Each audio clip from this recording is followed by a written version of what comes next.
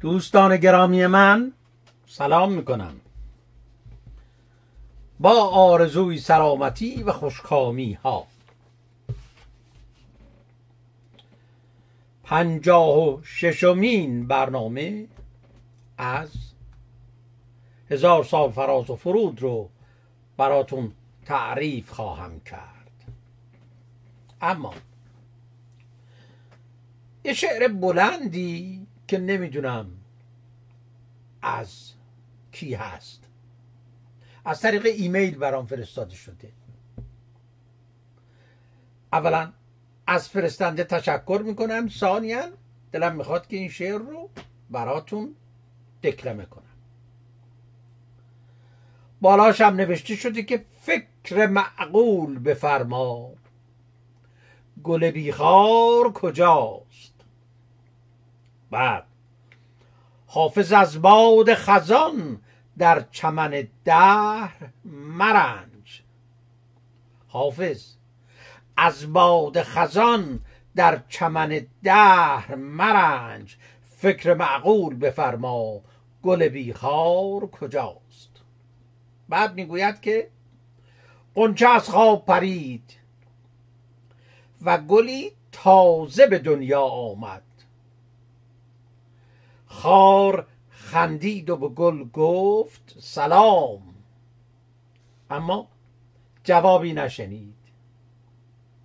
خار رنجید ولی هیچ نگفت. ساعتی چند گذشت گل چه زیبا شده بود. دست بیرحمی آمد نزدیک. گل سراسیمه ز وحشت افسرد لیک آن خار در آن دست خلید و گل از مرگ رهید. صبح فردا که رسید خار با شبنمی از خواب پرید. گل صمیمانه به او گفت سلام. فکر کنید گل اگر خار نداشت دل اگر بیغم بود اگر از بهر کبوتر قفسی تنگ نبود. زندگی عشق اسارت قهر آشتی همه بی معنا بود.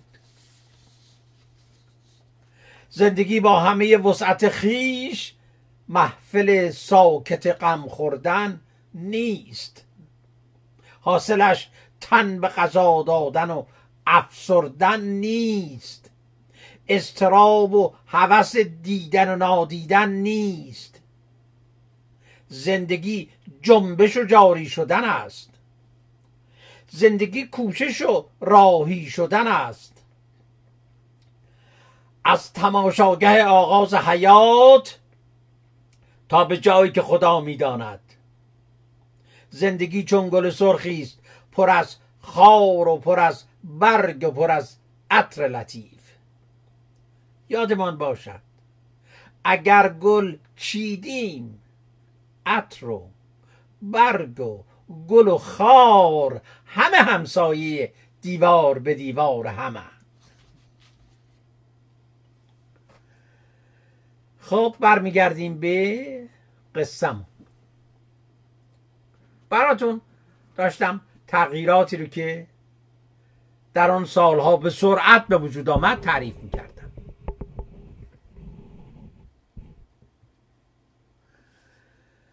باید به این نکته دقت کنید که در آن روزگار نه مدرسه ای برای تربیت افسران پلیس وجود داشت نه جوانان با سواد و تربیت شده از بین طبقات متوسط به قدر کافی داوطلب خدمت به عنوان پاسبان یا سرپاسبان یا گروهبان می شدند که بتوان یک نظمیه یا شهربانی قانونمند با جوانان تربیت شده و تحصیل کرده مثل کشورهای اروپایی رو به وجود آورد. ولی احتیاجات روز کشور ایجاب می کرد که از همان جوانهای موجود استفاده کنند و در حد مقدور به آنها آموزش های ابتدایی بدهند تا بتوانند در خدمت مردم درآیند. و آهسته آهسته جای شبگردها و دوستاقبانها و اساسها و نگهبانها و شرطه ها رو بگیرن. شهر رو به چهار قسمت تقسیم کردند و چهار کمیسری که بعدها به کلانتری تغییر نام داد تأسیس کردند و هر ناحیه‌ای در اختیار افسران آن ناحیه قرار گرفت.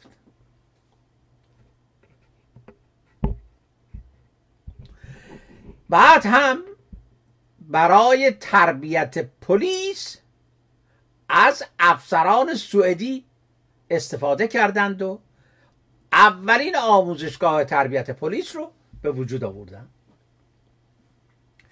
برای انجام این کار کارشناسان همراه رضاشاه رأی دادند به منظور تربیت پلیس که اون روزها اونا را آژان می‌گفتند از کشور سوئد که کشور بیطرفی بود و افسرانش تربیت استثماری و استعماری نداشتند چند تن مستشار به ایران بیاورند و آموزشگاهی زیر نظر آنها تشکیل بشود تا به تدریج هم افسر پلیس و هم پاسبانها را تربیت کنند تا به وظایف اداره شهر آشنا بشوند.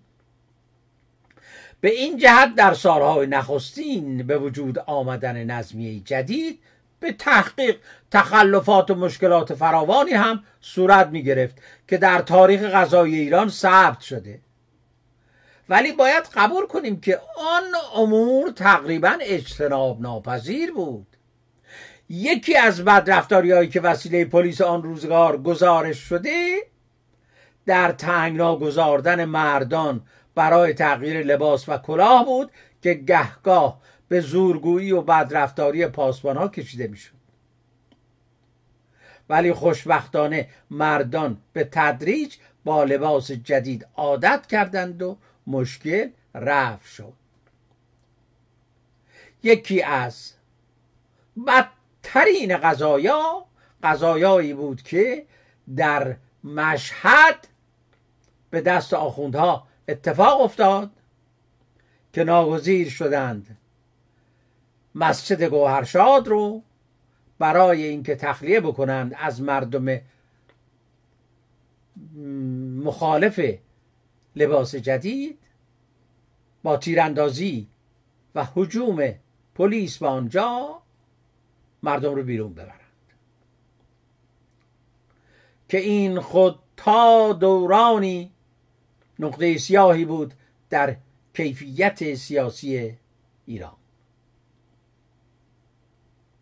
بعد از این مسئله که مورد توجه قرار گرفت تعطیل مکتب خانه های آخوندی بود و ایجاد مدارس جدید که خودش داستانهای مفصلی رو به دنبال دارد.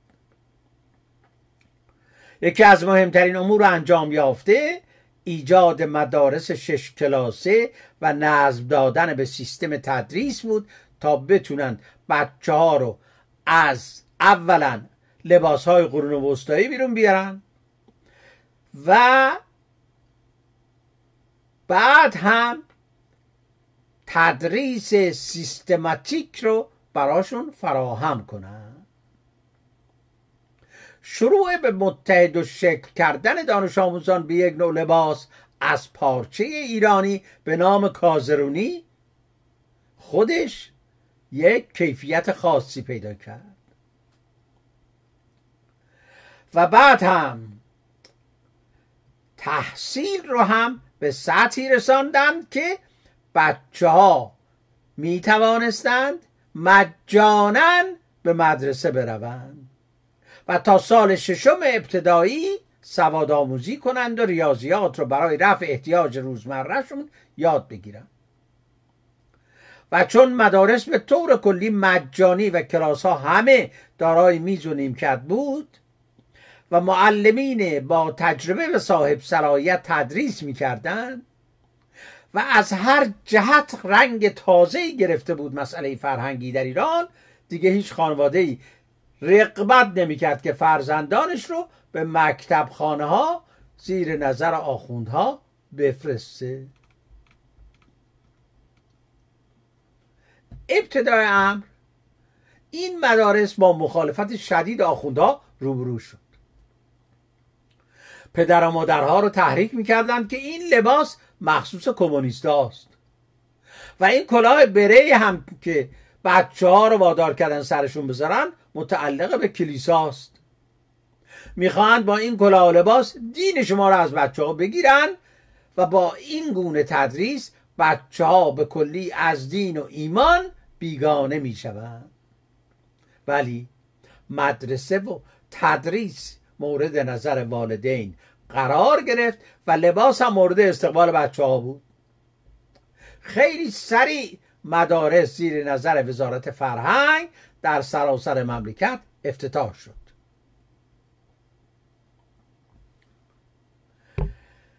تهیه لباس کازرونی خودش موجب شد تا اینکه ایجاد کارخانجات پارچه بافی شروع بشود.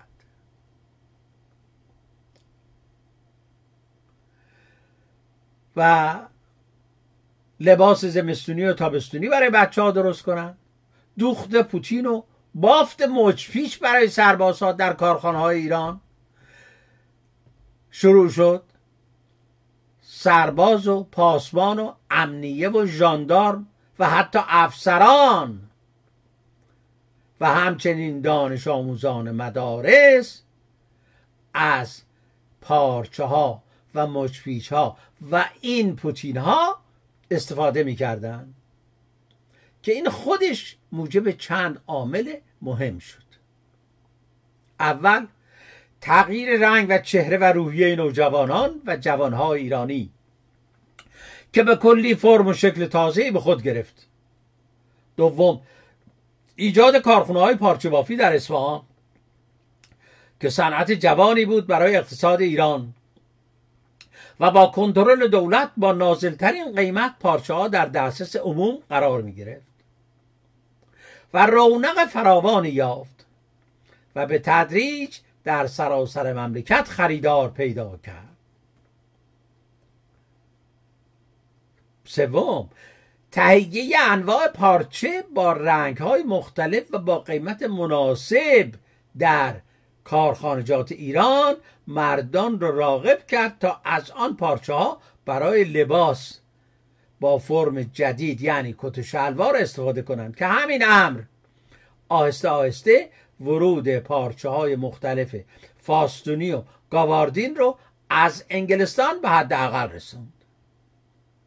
چون تا اون روز هر نوع پارچه از خارج وارد می‌شد که ایجاد کارخانجات جدید پارچه بافی جلو این کار رو گرفت. چهارم کارخانه های اسفان چون نمی‌توانست پاسخگوی نیاز همه کشور باشد دولت کوشش کرد که سرمایداران رقبت پیدا کنند در شهرهای مختلف انواع کارخانه های بافندگی رو برپا نمایند. و به تدریج دست به نوآوری بزنند. به این جهت روی به بافت انواع پتوها بردند اول نوعی پتوی ساده برای ارتش بافتند که مورد استقبال قرار گرفت. و دیگه نیازی به وارد کردن پتو برای سربازخانه ها از خارج موقوف شد. تا آن زمان یکی از بزرگترین رقم واردات پتوهایی بود که از انگلستان منچستر یا روسیه وارد می‌شد و همه ساله مبالغی ارز از کشور خارج میگردید دوم کارخانه های در شهرهای مازندران از جمله به شهر ایجاد کردند که در آن انواع گونی های مورد مصرف حمل قلات بافته می‌شد که تا آن روز از خارج از کشور خریداری می‌کردن اغلب از روسیه وارد می‌کردن همین کارخانه به تدریج توانست انواع پارچه پردهی و نوع خاصی پارچه روی مبل رو تهیه کنه که مورد استقبال قرار گرفت که دیگه نیازی به ورود آنها هم از خارج نبود. سوم کارخانه های مخصوص بافت پارچه های زنانه. از قبیل انواع چیت ها و چلوارها که در به شهر به وجود می آمد که سخت با پارچه های زنانه خارجی رقابت می کرد یکی از مواردی که سالیان دراز محرمانه مانده بود آنکه در دوران پهلوی دوم گروهی از بازرگانان فرانسوی با کارخانه چیت بهشهر قراردادهای تنظیم کردند که کارخانه بهشهر انواع چیت ها رو با مارک فرانسوی تهیه می کرد و فرانسوی ها به نام خودشان به بازارهای جهان عرضه می کردند حالا ببینیم که چه اتفاقی افتاد برای اینکه امنیت به وجود آمده کشور به هم بریزد. و چرا اینطور شد؟ محمود طلویی در کتاب پدر پسر می نویسد که رضاشاه نوروز سال 1308 رو با نگرانی و استراب آغاز کرد. زیرا بزرگترین شورش مسلحانه علیه حکومت او شکل گرفته بود. و به سرعت هم توسعه پیدا می کرد در آخرین هفته اسفند ماه افراد ایل قشقایی به سرپرستی سالار حشمت برادر سردار اشایر یعنی سولت دوله که چند ماه قبل از آن دستگیر و زندانی شده بود دست به شورش زدند و عملا شیراز رو محاصره نمودند. رضا شاه ابتدا سرتیب محمد خان شاهبختی رو به فرماندهی قوای فارس منصوب نمود. و اکبر میرزای مسعود یعنی صاحب دوله رو به ولایت فارس فرستاد. با وجود این شورش همچنان در حال گسترش بود.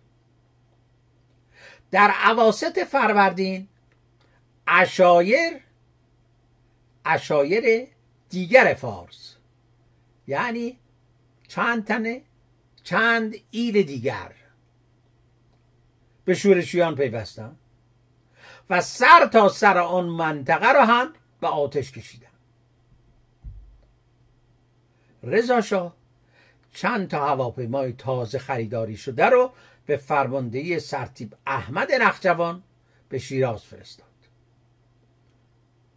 و سرتیب فضل الله زاهدی رو که ریاست کل تشکیلات امنیه رو داشت برای شرکت در عملیات سرکوبی اشایر به فارس اعزام نمود. با این وجود تقیان اشایر همچنان ادامه یافت و عمرای اعزامی از مرکز نیز به علت تسلط اشایر مسلح بر جاده های اطراف شیراز قادر به خروج از شهر شیراز نشدند. و عملا کاری از پیش نمی رفت چند ماهی از آن وضعیت میگذشت و هیچ تغییری در کیفیت جبهه ها پیش نیامده بود.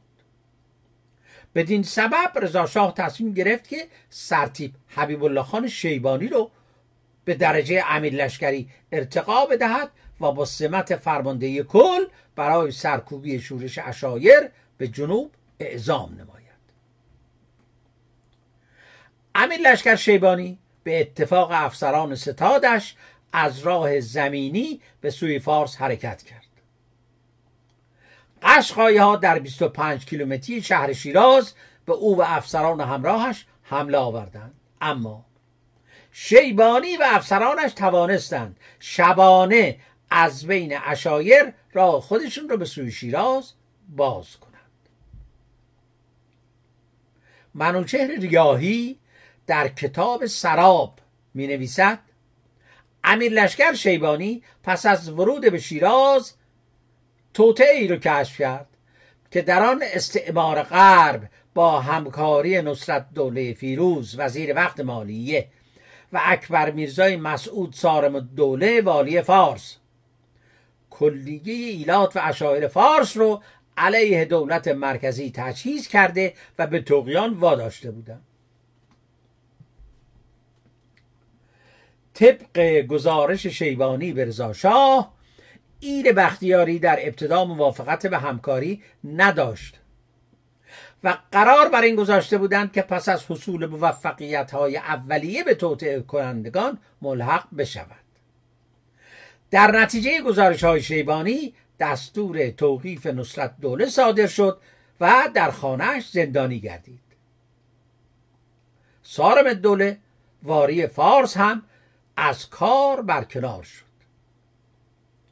و سرلشکر شیبانی با حفظ سمت فرماندهی کل نیروی مسلح جنوب حسب فرمان به ولایت فارس نیز منصوب گردید یعنی استاندار شد. پس از چند روز که والی فارس شد یک گزارش مفصل و محرمانه درباره سرتیب محمد حسین میرزای فیروز سرتیب نخجوان و همچنین سرتیب فضلالله زاهدی یعنی امیران ارتش که قبل از او به فارس اعزام شده بودند برای رضاشاه ارسال کرد که منجر به احضار هر سه شخصیت از فارس و خانه نشینی آنها گردید. در اینجا یه توضیحی لازم هست که منوشهر ریاهی نویسنده کتاب سراب خواهرزاده امیر لشکر شیبانی است. کتاب سراب رو سالها پس از حضور رژیم جمهوری اسلامی به رشته تحریر درآورد.